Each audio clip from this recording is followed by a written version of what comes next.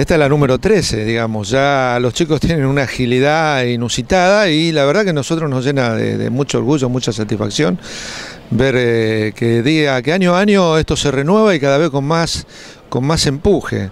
Cuando pensamos en la organización de estas jornadas, tratamos de que siempre haya innovación, de que sea actualidad, de poder traer toda la tecnología aplicada y por sobre todas las cosas las alternativas. No quedarnos únicamente con lo que hay, con lo que se ve, porque creemos que siempre hay otras posibilidades y todo tiene que estar al alcance de nosotros. No de seguir el modelo actual, digamos. Eh, si bien ya está habiendo un cambio de paradigma, pero apoyar a eso, digamos. Evidentemente esto es un éxito y la idea de que los estudiantes la, organicen a nosotros nos llena de mucha satisfacción.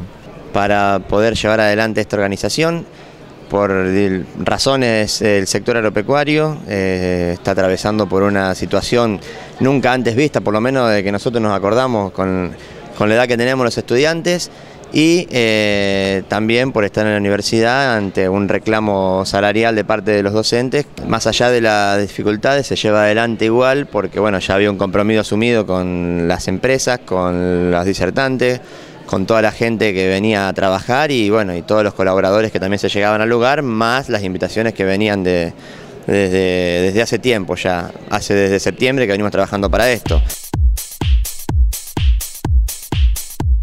De su extenso temario presentamos al médico veterinario Marco Antonio Hacho López, que habló sobre la producción porcina sostenible que se desarrolla e implementa en la Unión Europea. Lo que hemos hecho hoy en la mañana es una visión muy particular de nosotros, una evaluación del sistema de producción porcino en la Unión Europea, sus ventajas, sus inconvenientes.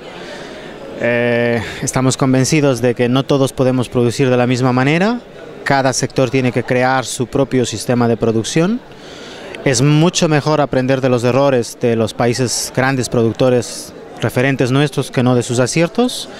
No podemos copiar la tecnología y trasplantarla a, países como Argentina. Argentina tiene que crear su propio sistema productivo desde las bases, desde formar al personal, desde crear una ley que proteja al porcicultor y también en la segunda charla que daremos esta mañana es explicarles que nosotros a 9.000, 10.000 kilómetros de distancia estamos trabajando en un sistema muy, muy, muy parecido al de aquí. El sistema que hacemos ahora o que estamos estudiando es un sistema más natural, un sistema que respeta el bienestar animal, que es la exigencia que tenemos ahora en Europa, un sistema que viene de evolucionar el sistema tradicional, que lo hemos hecho toda la vida, pero por la presión de producción que hemos tenido que cambiar. Es decir, nosotros hemos cerrado los animales, hemos incrementado la producción, pero también hemos incrementado en problemas.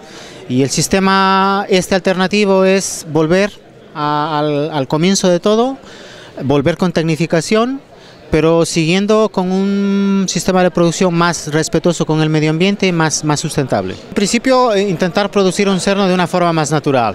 Utilizar otros sistemas de alimentación que no sean tan agresivos como únicamente el concentrado con, con antibióticos. Utilizar mm, razas más resistentes en lugar de razas sensibles que tengamos que utilizar más medicaciones. La, la sociedad europea nos, nos pide más alimentos más sanos, más naturales y en eso estamos. Eh, creemos que el productor pequeño puede, puede convertirse en un gran artesano y de esta manera revalorizar su producto y fidelizar al cliente. En nuestro país aún se debe aumentar la eficiencia y hacer un cambio en el modelo de producción para que sea sustentable, además de la incidencia de las políticas públicas. Hoy podemos decir que está en una etapa de, de mucho cambio y muchas cosas por ver. Es decir, el tema de eh, la quita de las retenciones a los granos, eh, la apertura en las exportaciones, plantean un panorama que eh, está haciendo que el sector se reacomode. tengo entendido que bueno, en estos días hay una reunión con todo el sector convocada por el, por el gobierno donde bueno, se plantearán estas nuevas reglas de juego para atender a los múltiples reclamos que ha, que ha habido. Yo calculo, yo siempre fui muy optimista, yo calculo que, el sector se irá reacomodando y dado esta, estas, este impas que está teniendo a partir de estas nuevas políticas, se reacomodará y seguirá su ritmo de crecimiento. El cambio climático es hoy el principal problema ambiental y el sector ganadero contribuye considerablemente a las emisiones de gases de efecto invernadero. Sobre esta situación y las posibles soluciones, dialogamos con un miembro CREA.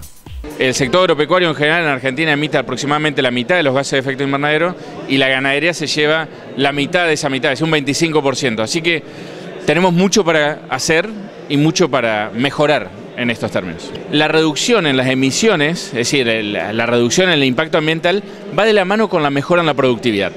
Entonces, nosotros solamente tenemos una situación de ganar y ganar, que quiere decir que si nosotros mejoramos la productividad, también vamos a estar reduciendo de alguna manera el impacto en términos de gases de efecto invernadero. Así que si uno dice, ¿qué puede hacer un productor? Claramente mejorar su productividad, hacer mejor lo que sabe hacer y vamos a emitir menos. Claramente Argentina tiene un problema grave y yo diría consuetudinario con el tema de la cría. La cría en Argentina mantiene la misma tasa de destete de hace 60 años. Tenemos el 63% promedio y no lo hemos mejorado. En invernada, eh, por otro lado, tenemos una situación que es de alguna manera contrastante con la cría, porque hemos mejorado muchísimo la adopción de tecnología y con esto la eficiencia productiva. Lo que sí eh, deberíamos ir mejorando en estos términos a nivel nacional son los pesos a los cuales se terminan los animales.